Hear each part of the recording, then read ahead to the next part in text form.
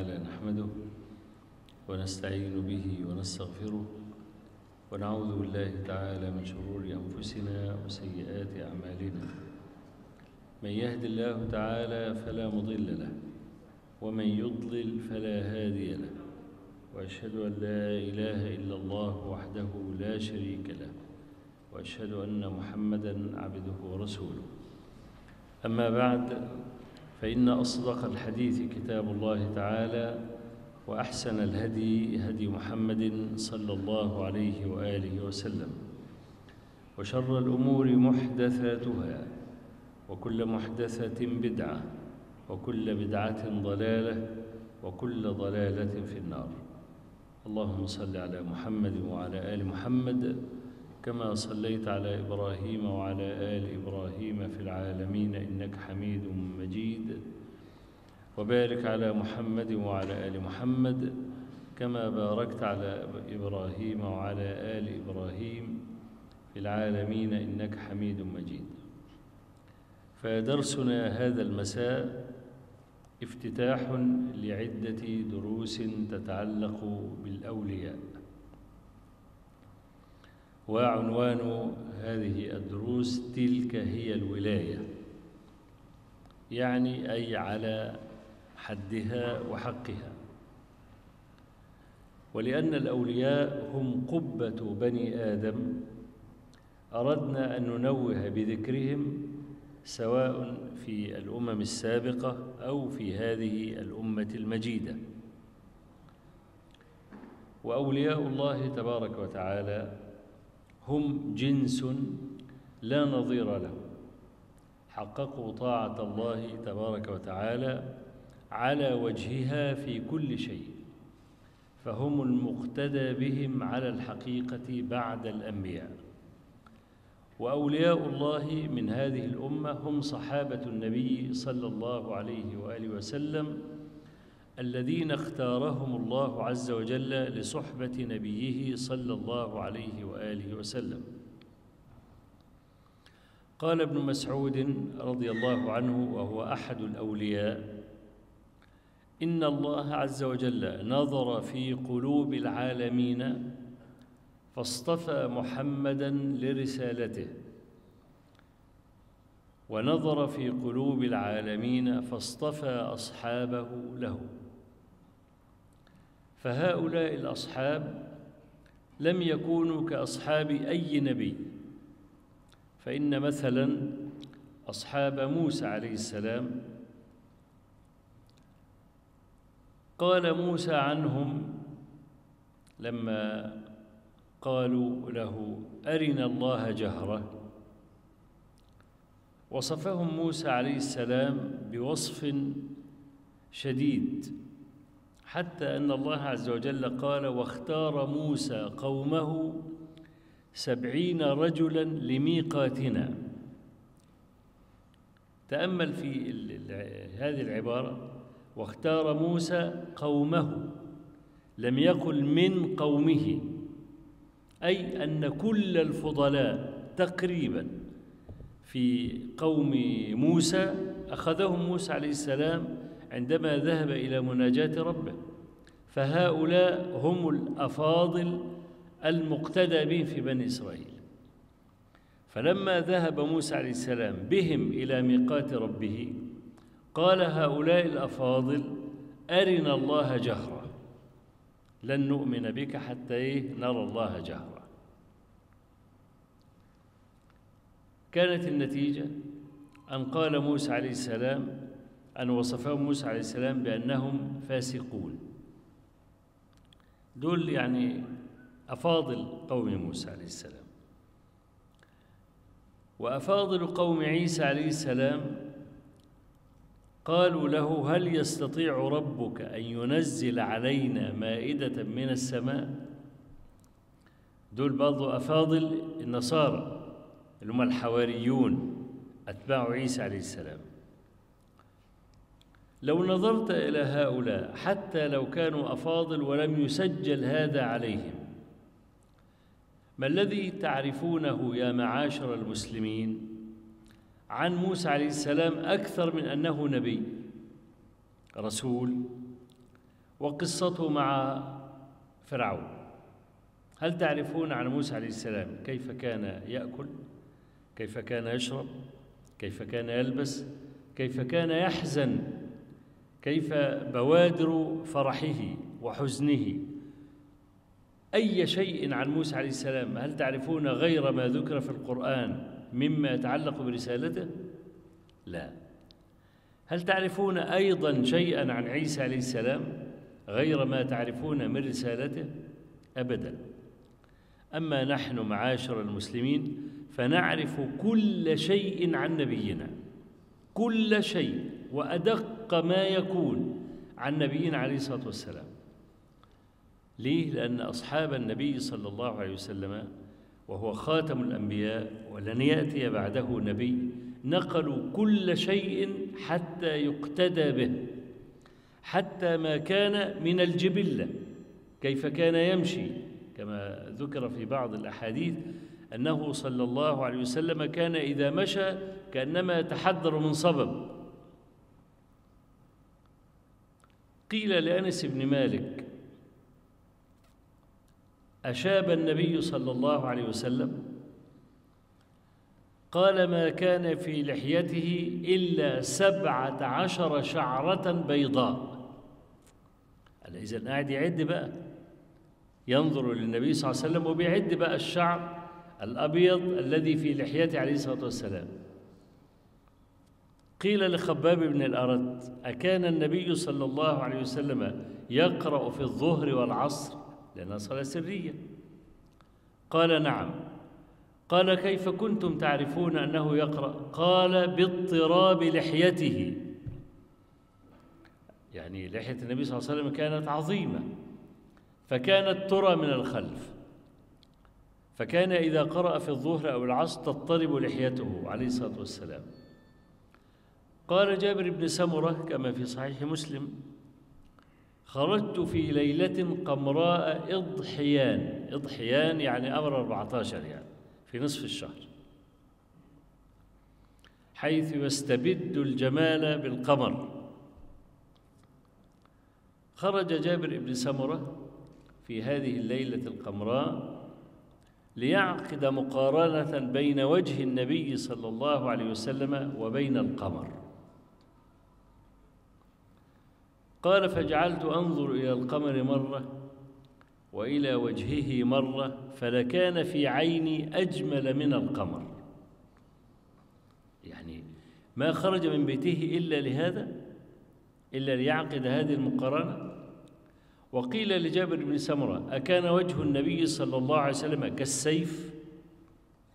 قال لا بل كان كالقمر. هنا لم يقصد أن يصف جماله. هو لما قال له أكان وجه النبي كالسيف ما قصد أن يكون وجها متجهما غليظا لا. إنما عايز يقول له وجهه كان طويلا قال له لا كان مستديرا. أدي معنى الحديث. أكان وجهه كالسيف طويلا يعني؟ قال لا بل كان كالقمر أي كان وجهه صلى الله عليه وسلم مستديرا.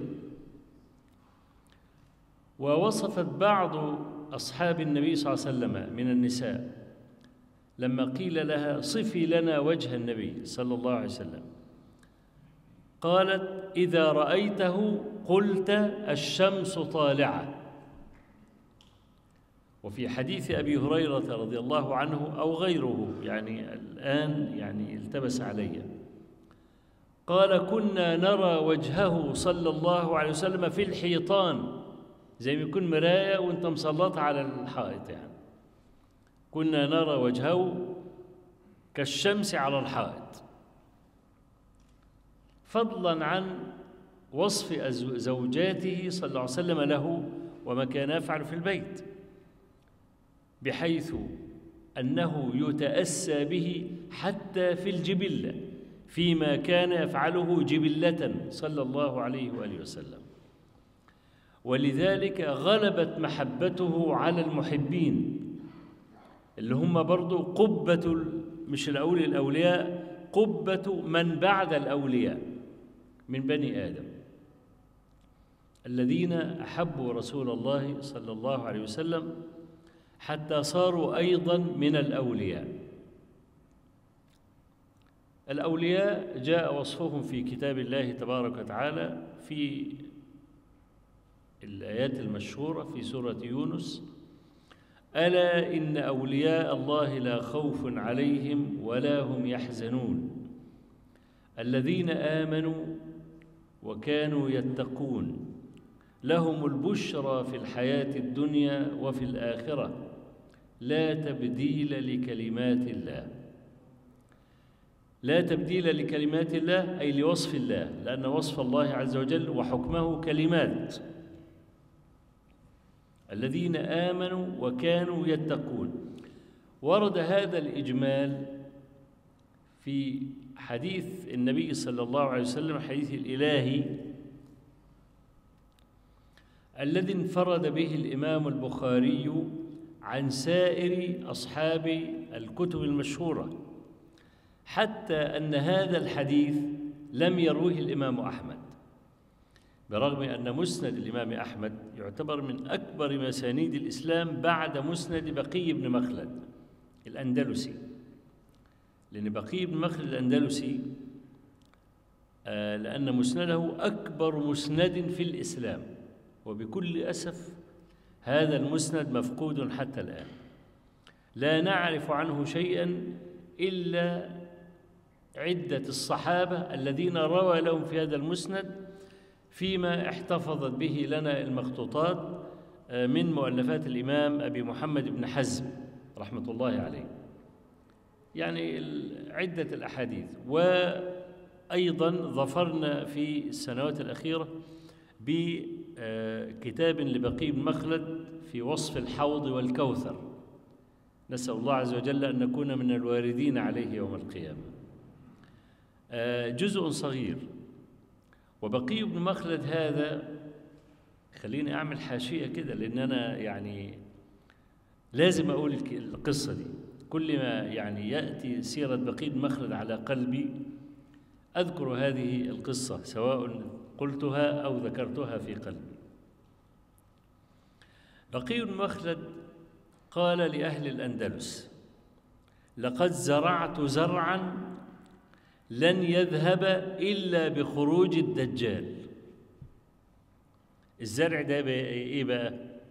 مصنف ابن أبي شيبة. إنما رواه بقي بن مخلد. مصنف ابن أبي شيبة ده مطبوع في 26 مجلد. رواه بقي بن مخلد الأندلسي. بقي بن مخلد هذا رحلته كانت أربعا وثلاثين سنة. الرحلة الأولى عشرين سنة والرحلة الثانية أربعة عشر سنة. جاي من الأندلس الأندلس البعيدة من إسبانيا يعني.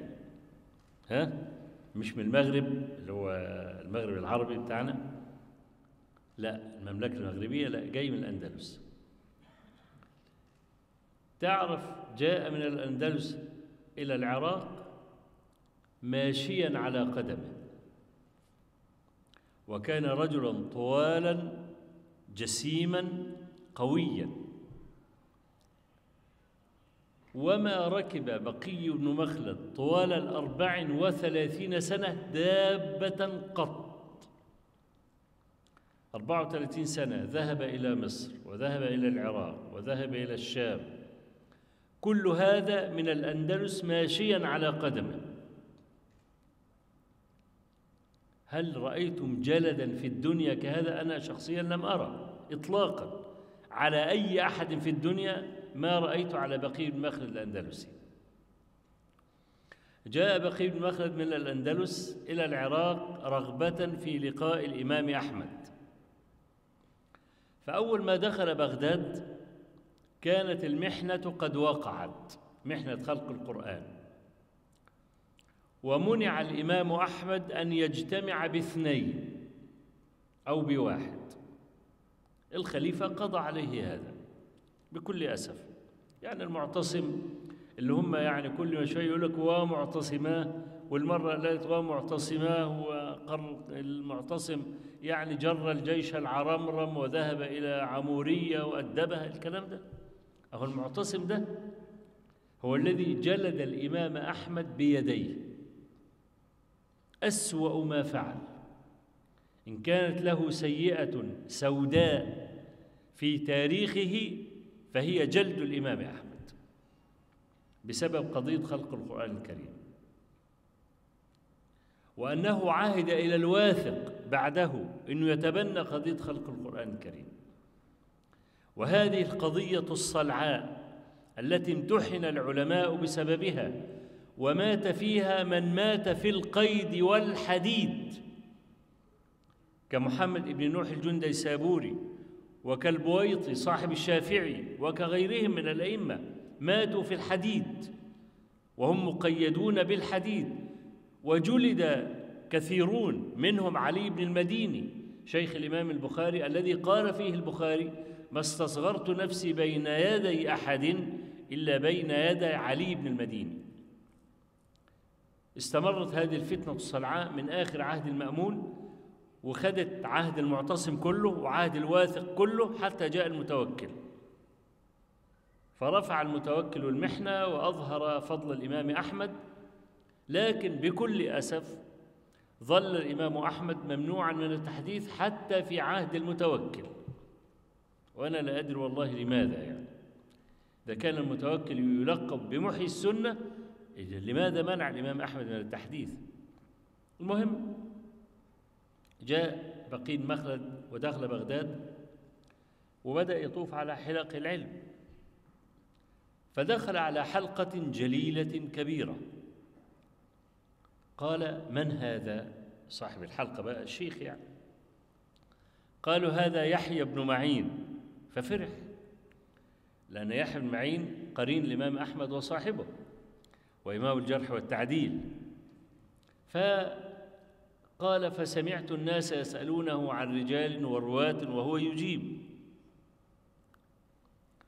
فرفع يديه ليسأل. قال رحمك الله رجل غريب أتى من إفريقيا وأريد أن أسأل سؤالا. قال سل. قال ما تقول في أحمد بن حنبل؟ فتعجب يحيى وقال أحمد أنا أسأل عن أحمد أحمد يسأل عنا. خلاص أخذ الجواب وجعل يبحث عن بيت الإمام أحمد. طرق الباب خرج إليه أحمد وكان رجلا نحيفا ضعيفا لا يقوى على الجلد. أنا متعجب والله من قلب المعتصم. كيف جلد هذا الإمام إن لم يكن لعلمه لجسمه؟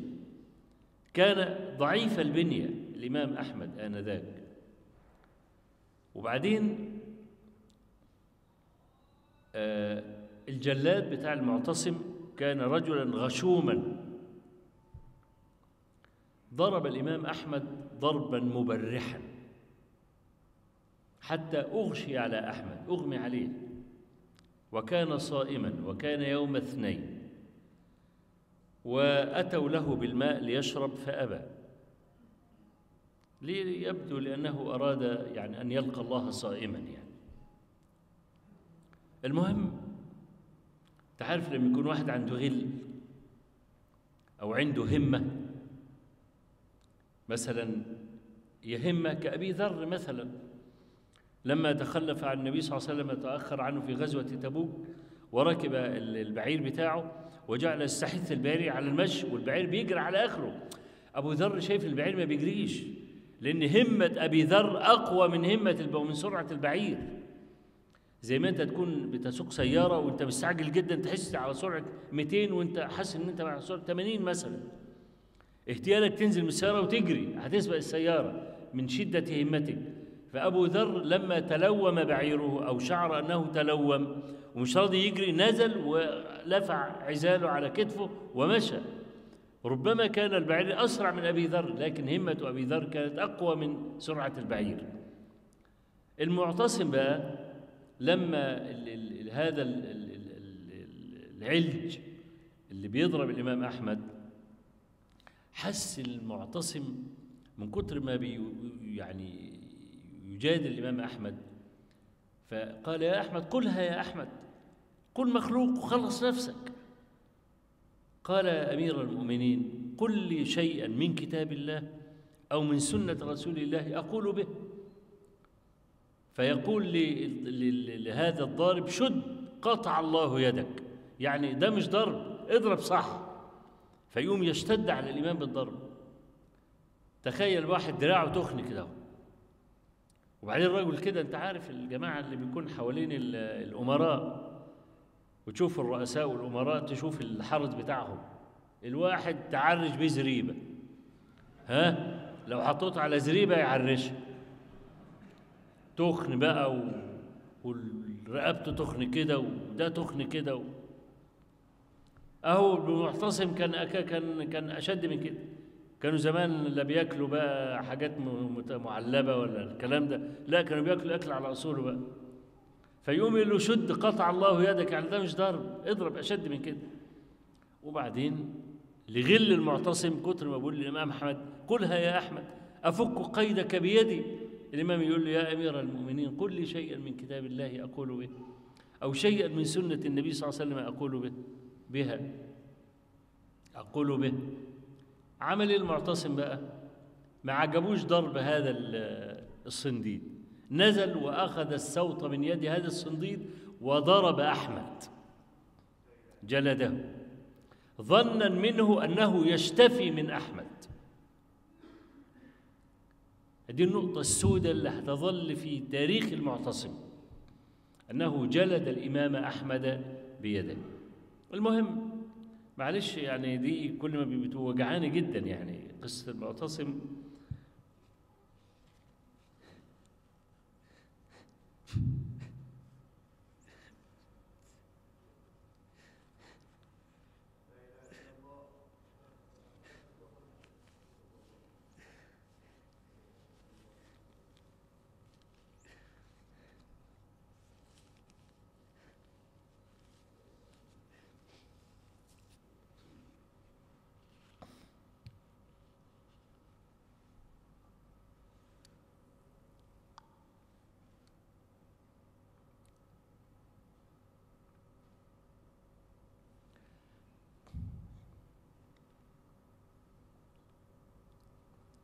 أدبتني كثيرا.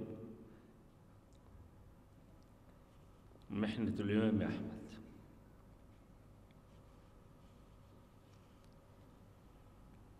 وثبتتني أيضا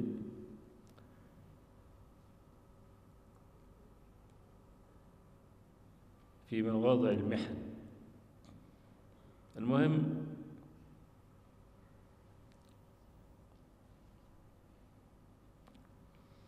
أن بقي بن مخلد لما طرق الباب ففتح له الإمام أحمد فقال له رجل غريب جئت من إفريقيا. قال له رجل غريب فقال من أين؟ قال من إفريقيا. قال سبحان الله إن موطنك لبعيد. قال جئتك لتحدثني. قال ما كان أحد أجدر أن أحدثه منك. لكنه لعله قد بلغك ما أنا فيه من المحنة. قال نعم علمت بها لما دخلت بغداد. فقال له أنا جئتك من مكان بعيد حدثني ولو حديثا في اليوم أو حديثان. حدثني حديثا أو حديثين. وسآ وسآتيك كل يوم في زي السؤال. هلبس ملابس مقطعة زي ما يكون واحد شحات وهطرق الباب وأقول لك حسنة لله. عشان ما فيش حد يكتشف من عسس الأمير أو عسس الخليفة إن في حد بيطرق باب أحمد وأحمد بيفتحه وبيدخل البيت كمان. فهو بيقول له أنا يعني سأحاول بعد ما ألبس زي السؤال وأشيل عصاية كده وهدم هدوم مقطعة وحاجة ألفها على راسي تكون برضو مزيتة كده وبتاع بحيث مفيش حد يقول لك لله يا محسنين والكلام. قال له على ألا يراك أحد. واتفقوا على كده.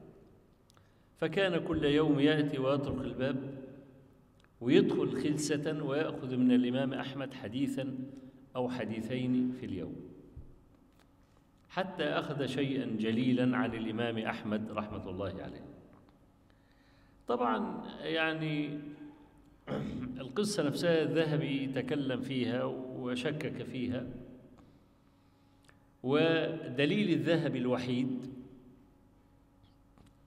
أنه لم يقف أنه وقف على نصف مسند بقي بن مخلد وليس فيه حديث واحد عن أحمد.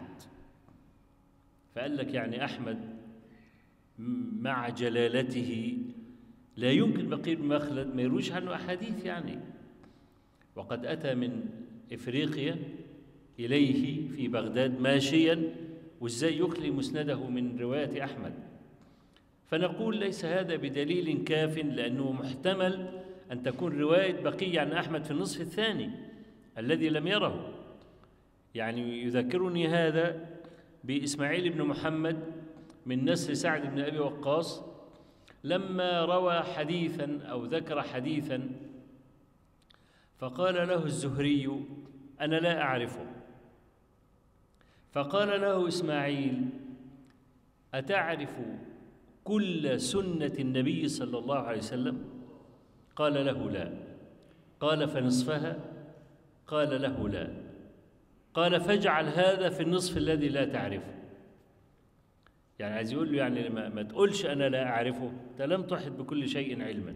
اجعل هذا في النصف الذي لا تعرفه. المهم آه إنه يعني آه بقي بن مخلد رحمة الله عليه أتى إلى بغداد ولقي الإمام أحمد وأنا أعتقد أنه لقي الإمام أحمد لأن القصة يعني ليس في إسنادها ما يشي بأنها غير مذكورة. المهم أن مسند بقي بن مخلد أكبر مسند في الإسلام. مسند الإمام أحمد بن حنبل رحمة الله عليه تقريبا ثاني أكبر مسند في الإسلام. يعني الإمام مسند الإمام أحمد يعني تقريبا حوالي 28 ألف حديث. مسند أبي هريرة في مسند أحمد حوالي 2400 وكسر أو 2700 وكسر. في مسند بقي 5000 حديث. عشان تعرف الفرق. يعني مسند بقي مخلد ممكن يكون داخل على 60 ألف مثلا. هذا الحديث الذي قال فيه شيخ الإسلام ابن تيمية أنه أشرف حديث للأولياء ليس في مسند أحمد. إنما هو في صحيح البخاري رحمة الله عليه. وهذا من الأحاديث المعدودة المتكلم بها بها في صحيح البخاري المتكلم عنها في صحيح البخاري. ويرويه البخاري رحمة الله عليه عن من طريق سليمان بن بلال عن شريك بن عبد الله بن أبي نمر عن عطاء بن يسار عن أبي هريرة رضي الله عنه أن النبي صلى الله عليه وسلم قال يقول الله تبارك وتعالى من عاد لي وليا فقد آذنته بالحرب ولا يزال عبدي يتقرب إلي بالنوافل حتى أحبه. وما تقرب عبدي بشيء أحب إلي مما افترضته عليه ولا يزال عبدي يتقرب إلي بالنوافل حتى أحببته. دي رواية البخاري. حتى أحبه في طرق أخرى وشواهد أخرى عن النبي عليه الصلاة والسلام. حتى أحببته. يعني مع أن كان مقتضى الكلام حتى أحبه. قال ولا يزال هذا فعل المضارع. ولا يزال عبدي يتقرب إلي بالنوافل حتى أحببته. فإن أحببته أو قال لم يقل فإن أحببته في رواية البخاري. لكن أنا عشان يعني طريقتي الذي إذا أردت أن أشرح حديثا آتي بكل طرق الحديث وألفاظ الحديث وأسبكها في بعض كأنها حديث واحد. فمعلش لو أنا يعني أخللت بلفظة أو كده في رواية البخاري يعني إنه يعني أسامح في هذا لأنني لا أخرج في العادة عن المعنى يعني. فإن أحببته كنت سمعه الذي يسمع به وبصره الذي يبصر به ويده التي يبطش بها ورجله التي يمشي بها ولئن سألني لأعطينه. قال ربنا تبارك وتعالى في هذا ولئن سألني لأعطينه ولئن استجار بي لأجيرنه. في ده في بعض برضه الطرق. وما ترددت في شيء أنا فاعله ترددي في قبض روح المؤمن يكره الموت وأكره مساءته. وفي بعض الطرق ولا بد من الموت. وما ترددت في شيء أنا فاعله تردد الرب تبارك وتعالى ليس كتردد العباد.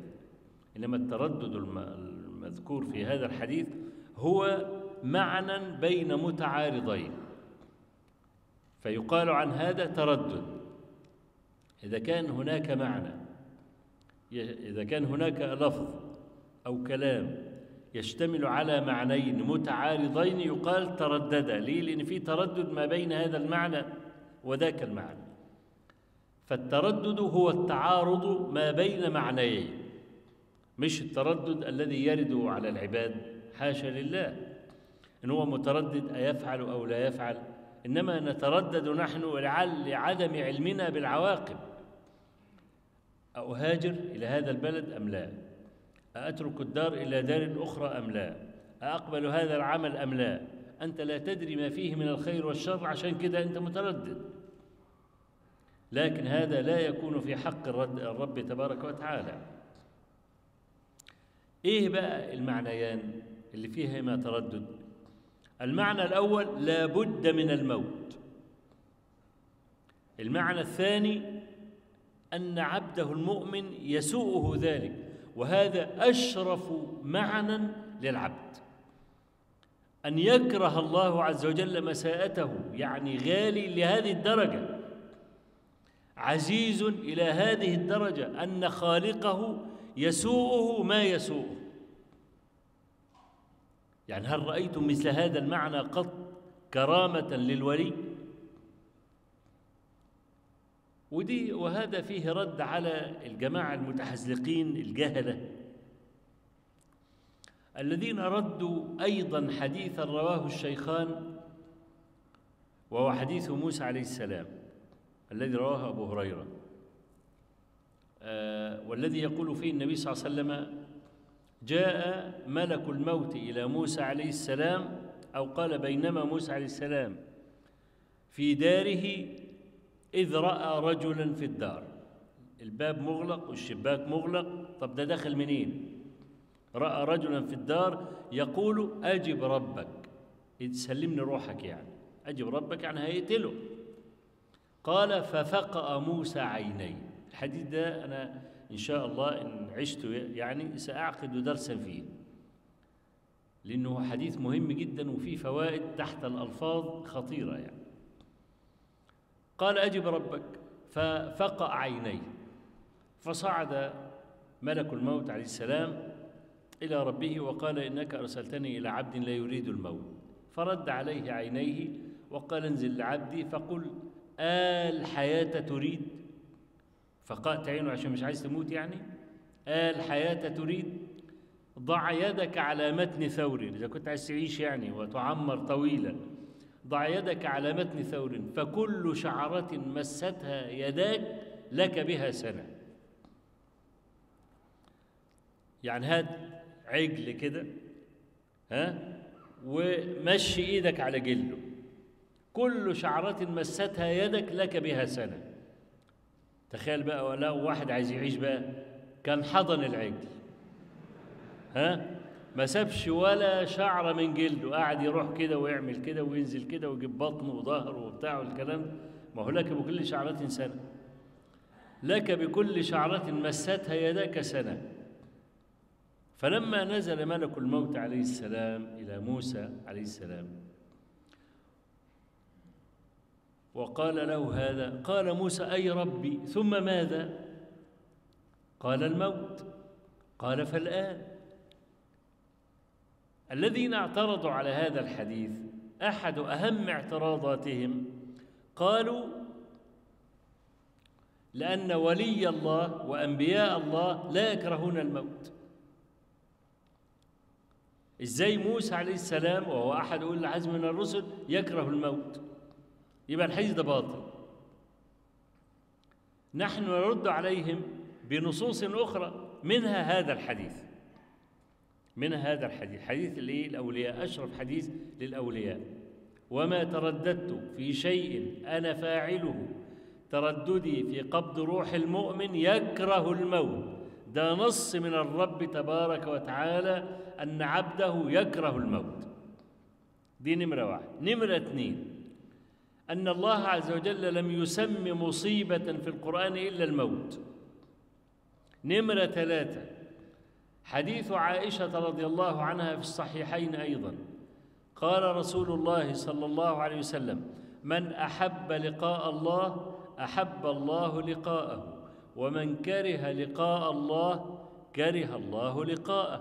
فقالت عائشة يا رسول الله كلنا يكره الموت.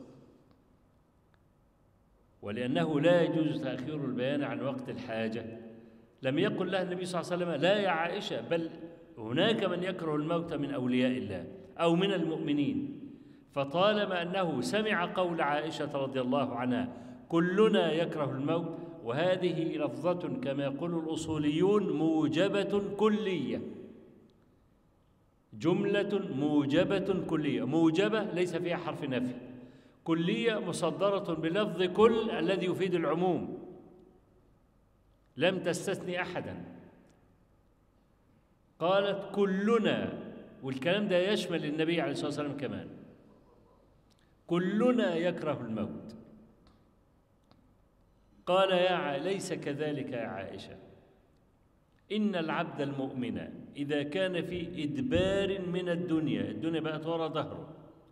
وإقبال من الآخرة. رأى ما وعده الله تبارك وتعالى فأحب لقاء الله فأحب الله لقاءه. وإن العبد الفاجر إذا كان في إدبار من الدنيا وإقبال من الآخرة رأى ما أعده الله له كره لقاء الله فكره الله لقاءه. وهذا كما في حديث النبي صلى الله عليه وسلم قال إذا حملت الجنازة وكان المحمول يعني مؤمنا أقول يعني معنى الحديث كان المحمول مؤمنا رأى ما أعده الله فقال قربوني قربوني. يعني أنتوا ماشيين ببطء الجماعة اللي شايلين النعش يعني ماشيين ببطء قربوني قربوني يعني إلى النعيم. أما إذا كان فاجرا فيقول يا ويله أين تذهبون به يا ويله. هكذا على الالتفات يعني. ما قالش يا ويلة وقد وردت يا ويلة في برضه في بعض الطرق. ولكن في أحد الطرق قال يا ويله.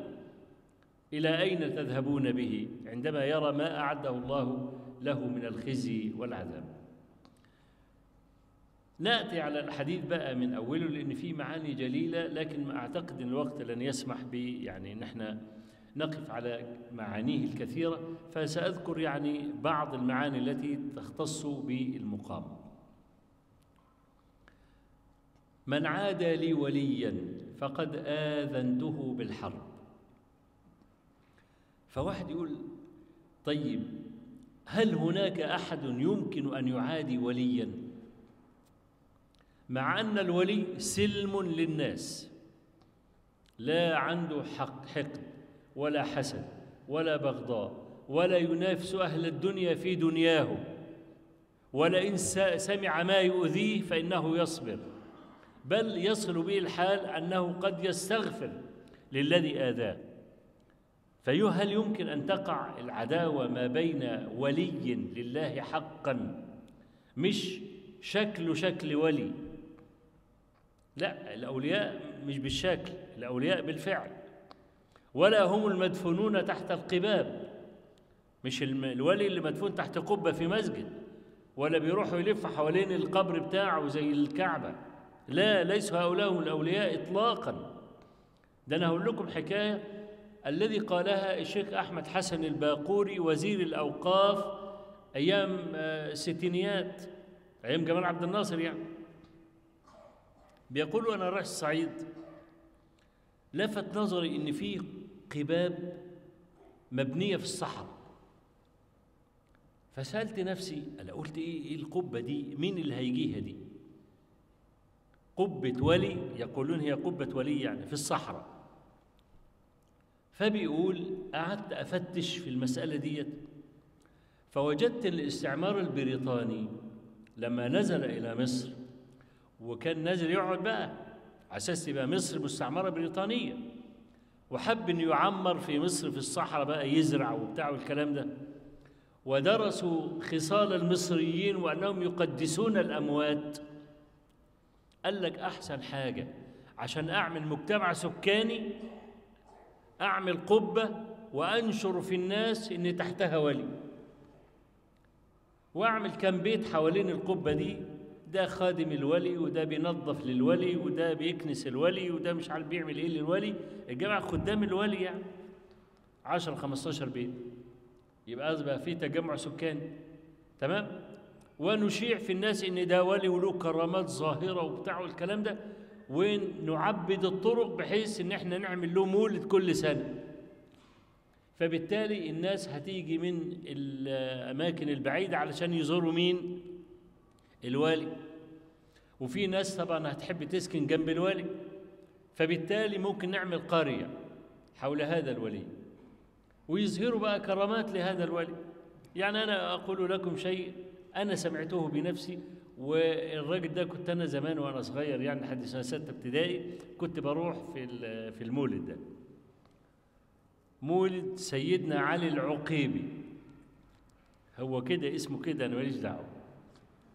علي العقيبي. ليه يا جماعة اسمه العقيبي؟ قال لأنه كان ماشي مع النبي عليه الصلاة والسلام. أهدا برضه من ضمن الحاجات اللي اللي طيروها. كان ماشي هو والصحابة مع النبي عليه الصلاة والسلام. فهو اتأخر عن الصحابة في المشي. فقال له الحق بنا يا عقيبي. عشان إيه؟ في العقب يعني عقبان يعني متأخر يعني. يبقى هو كده. كان عندنا في مصر في كفر الشيخ في المحافظة بتاعتنا وما زال يعني بحيرة اسمها بحيرة البرولس فكان الجماعة الصيادين اللي بيصطادوا الطير اللي بيجي مهاجر من أوروبا والكلام ده في الشتاء يروحوا بقى يلبدوا لهم بقى في البوص وال والشجر والبتاع ويصطادوا الايه؟ الطير اللي جاي مهاجر يعني. المهم إن كان في مجموعة بيصطادوا فحقدوا على واحد فيهم. الواحد ده كان دايما لما ينشن يضرب الرصاصة لازم تصيب بجع من البجع اللي بيجي ده. المهم حقدوا عليه لسبب ولا آخر أنا ما أعرفوش يعني. فأضمروا قتله. فواحد قال له الناس دول هيقتلوك. وفي اليوم اللي كان هيقتلوه فيه قالوا له هيقتلوك في اليوم الفلاني.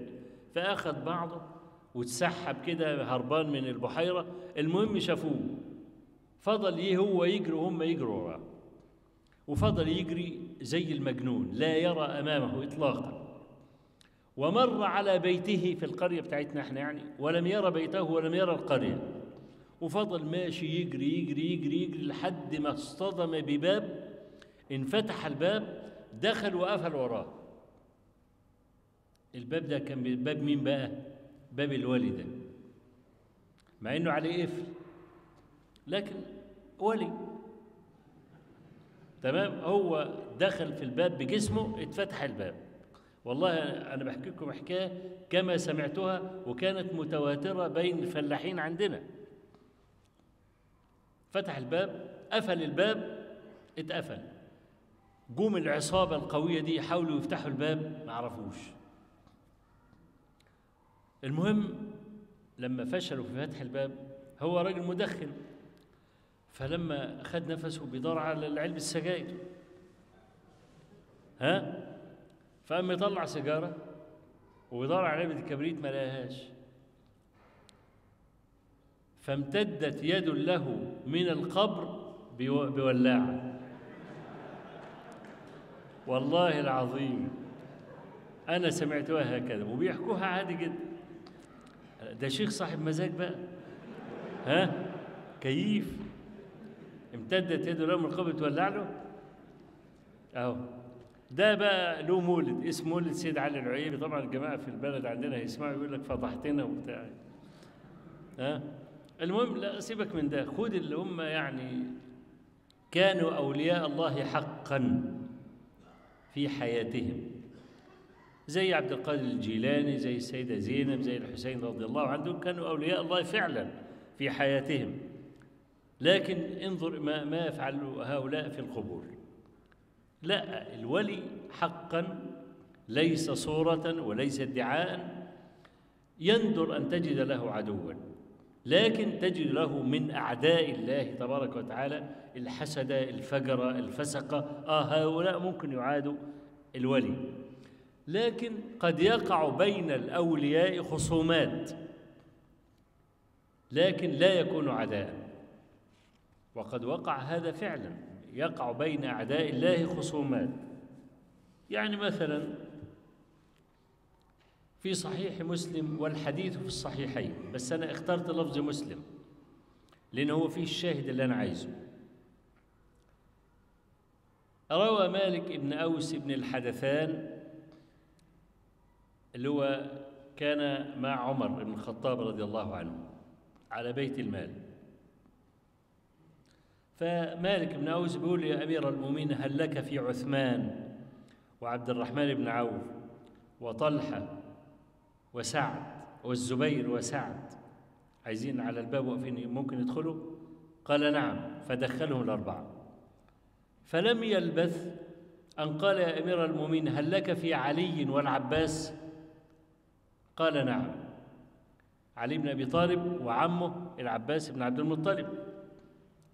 فلما دخل العباس وعلي على عمر قال العباس لعلي لعمر يا أمير المؤمنين اقض بيني وبين هذا الكاذب الآثم الغادر الخائن.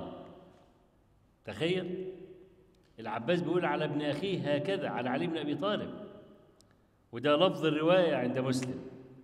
اقضي بيني وبين هذا الكاذب الآثم الغادر الخائن. ليه كل ده اختصموا في من يقوم بصدقة النبي صلى الله عليه وسلم. فقال هؤلاء الأربعة اللي هو عثمان وعبد الرحمن والزبير وسعد بن أبي وقاص قالوا يا أمير المؤمنين اقض بينهما وأرح أحدهما من الآخر فقال عمر رضي الله عنه للعباس لقد جئتني لقد جئت أبا بكر تطلب آه،.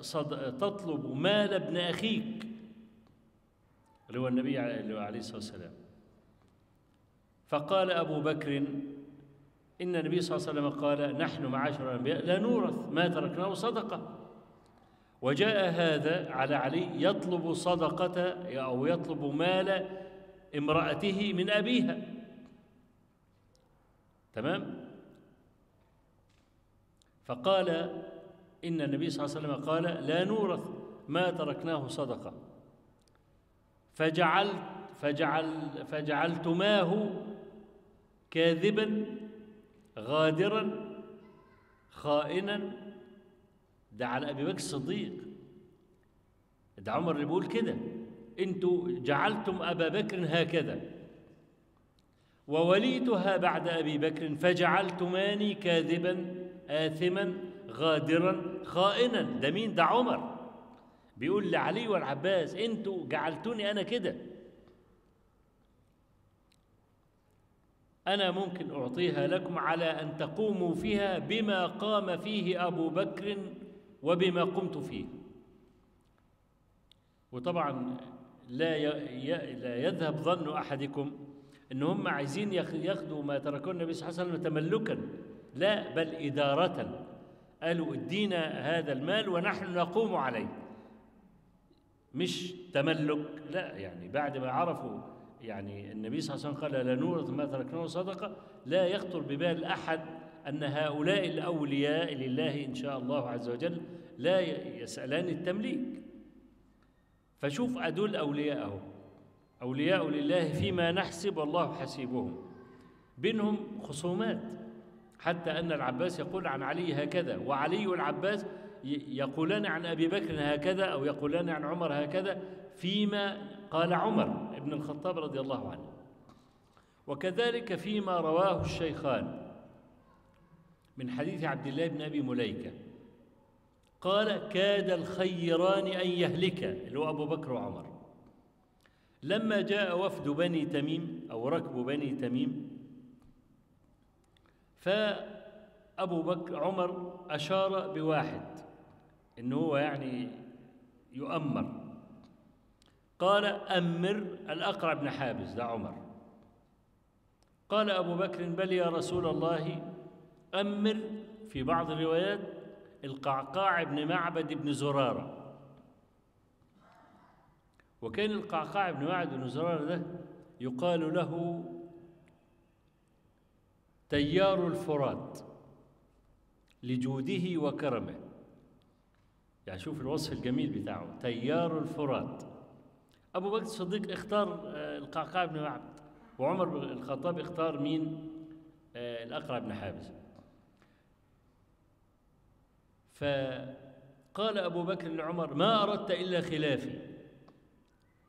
أنت عايز تخالفني وخلاص. قال له عمر ما أردت خلافك وعلت أصواتهما. فنزلت الآية.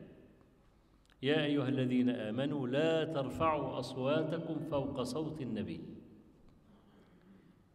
شوف الصحابة بقى عمر بن الخطاب كان إذا كلم النبي بعد ذلك يستفهمه النبي من شدة خفض صوته لما يكلم النبي النبي يقول له أنت بتقول إيه؟ ماذا تقول؟ ارفع صوتك شوي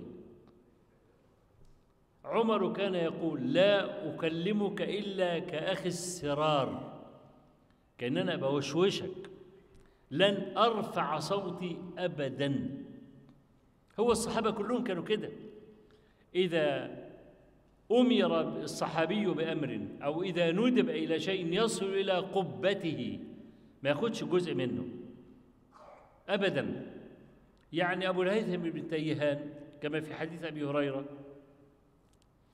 لما خرج النبي صلى الله عليه وسلم وأبو من بيته فوجد أبا بكر وعمر. الأول خرج أبو بكر وبعدين خرج عمر بعديه فقال ما أخرجك أبا بكر من بيتك؟ قال أخرجني الجوع. قال والله ما أخرجني إلا هذا. فبينما هما معا إذ خرج النبي صلى الله عليه وسلم فوجدهما. ما أخرجكما؟ فقال يا رسول الله ما أخرجني إلا الجوع. قال وأنا والله ما أخرجني غيره. المهم مشوا مع بعض حتى وصلوا إلى بيت أبي الهيثم ابن التيهان. فسأل فسألوا المرأة أين زوجك؟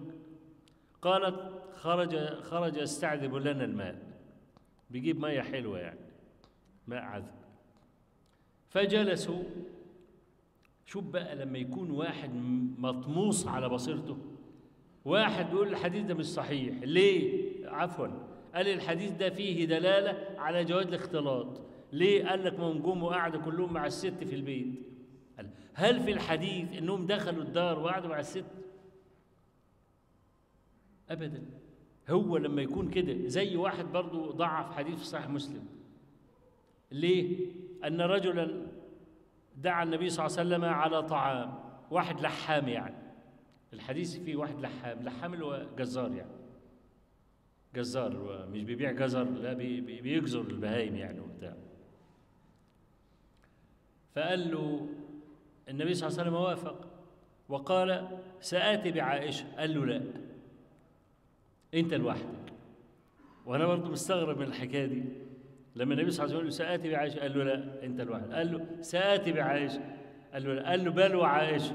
يكرر النبي صلى الله عليه وسلم قال له وعائشة. قال لا. يعني كده واخدها بالعافية يعني ولا إيه؟ تمام؟ فيقول لك ال- ال- ال- النبي صلى الله عليه وسلم أهو واخد عائشة معاه والصحابة كمان هيقعدوا كلهم ياكلوا مع بعض. أهو ده في دلالة على جواز الاختلاط. فلما واحد أنت تعزمه ليه بتخلي مراتك ما تاكلش معاه؟ إذا كان النبي صلى الله عليه وسلم أكل عائشة مع الناس. شوف يا أخي البصائر وشوف ال- الفهوم عاملة إزاي. المهم إنه بعد شوية جاء أبو الهيثم بن تيهان يحمل قربة ماء يزعبها على كتفه. فلما رآهم قال ما أحد اليوم أكرم أضيافا مني. وراح يذبح لهم إيه؟ شاه. فالنبي صلى الله عليه وسلم قال إياك والحلوم. المهم ذبح لهم الشاه وبتاع والكلام ده. ولما راح يذبح الشاه وضع لهم رطبا. ياكلوا منها لحد ما إيه؟ ما يذبح. لأن النبي صلى الله عليه وسلم قال بيت لا تمر فيه جياع أهله. واحد برضه من المغبونين ده ضعف الحديث ده. بالرغم إنه في الصحيح ليه تضعفه؟ قال إحنا مثلا في مصر مثلا وفي الشام لا عندنا تمر ولا متعودين على التمر ولا بناكل تمر إلا في رمضان. يعني الحديث بيقول اللي في بيته ما فيهوش تمر جائع. طب إحنا مش جعانين ولا الحمد لله وما فيش في بيتنا تمر ولا بتاع. يبقى الحديث ده صحيح إزاي؟ أنا أقول للجاهل ده ولأمثاله معنى الحديث أن البيت الذي فيه تمر لو كان الشخص جائعا وتناول تمرة أو تمرتين صبره حتى يأتي الأكل. يذهب جوعه وسغبه حتى يأتي الأكل حتى يأكل. أكل تمرة اثنين ثلاثة خلاص. أدي معنى جياع أهله أي جياع حتى يأتيهم الطعام. جياع حتى يملأوا بطونهم من الأكل. ادي معنى الحديث. المهم ذبح الشاة والنبي صلى الله عليه وسلم شاف أبو الهيثم بيذبح بإيده ويسلخ بإيده وبيشوي بإيده ووضب الأكلة كلها بإيده. فسأله أليس لك خادم؟ قال له لا. قال إذا أتانا سبي فأتني. فجاء سبي جاء اثنان لا ثالث لهما. فأرسل إلى أبي الهيثم قال له جاء جاءنا سبي. قال له دول اثنين خد واحد منهم. كان أي واحد ممكن يقول اديني ده ده عضلاته بتاعه اشغله قال له يا رسول الله اختر لي. شوف الناصح اختر لي. هو ما يختارش ابدا. قال اختر لي. قال خذ هذا فإني رأيته يصلي واستوصي به خيرا. ممكن واحد من المغبونين دول يقول لك إيه؟ يعني أنت ما بتصليش امال يبقى مسلم إزاي؟ لأن النبي صلى الله عليه وسلم قال خذ هذا فإني رأيته يصلي. يبقى الثاني إيه بدليل مخالفه مفهوم المخالفة يعني؟ كأن الثاني ما بيصليش لا المعنى مش كده. أي فإني رأيته يصلي صلاة ينظر إليها. باين عليه خشوع باين عليه خضوع زي الجماعه اللي هم كانوا العبيد بتوع ابن عمر. كان ابن عمر إذا رأى من عبيده رجلا يصلي وخاشع يقول له أنت حر. فبدأوا كلهم يقلدوه. أي واحد عايز يبقى حر يعمل كده وبتاع ويعيط ونهنه ومش عارف إيه. فابن عمر يشوفه بالنظام ده يقول له أنت حر. فسالم ابنه بيقول له يا أبتي يعني العبيد هيخلصوا كده. ده كل واحد عايز يعتق يوم يعمل نفسه خاشع ومش عارف إيه والكلام ده. ده هؤلاء يا أبتي هؤلاء يخدعونك. قال يا بني من خدعنا في الله خدعنا له. من خدعنا في الله خدعنا له. فقال له خذ هذا فإني رأيته إيه؟ يصلي. واستوصي به خيرا. فلما خدوا للبيت يعني فأم مرات أبي الهيثم امرأته بتقول له ماذا قال لك النبي صلى الله عليه وسلم؟ قال أعطاني هذا وقال استوصي به خيرا. قالت يا أبا الهيثم ما أنت ببالغ وصية رسول الله صلى الله عليه وسلم في الوصاة به خيرا إلا أن تعتقه؟ الله أما أنا جايبه ليه؟ ده جايبه عشان يساعدني. ده النبي عليه الصلاة والسلام لما شافني أنا شغال لوحدي قال لي خد ده. عشان يساعدك. فتقوم تقولي له استوصي به خيرا. فقام أبو الهيثم بن تيهان قال له أنت عتيق. خلاص. ده فعل المرأة. امرأة الصحابي الجليل. ونساء الصحابة كانوا كده. رضي الله عنهن جميعا ورضي الله عن أزواجهن. قال قالت ما أنت ببالغ وصية رسول الله صلى الله عليه وسلم إلا أن تعتقه قال له أنت عتيق. مش قاعد يهرش في دماغه ويقول لي يا ترى عتيق ولا مش عتيق؟ ها؟ لا لم يتردد إطلاقا في هذا. كان الصحابة إذا أمر الواحد بأمر يصل إلى سقفه. أعلى حاجة ممكن تتصور فيه.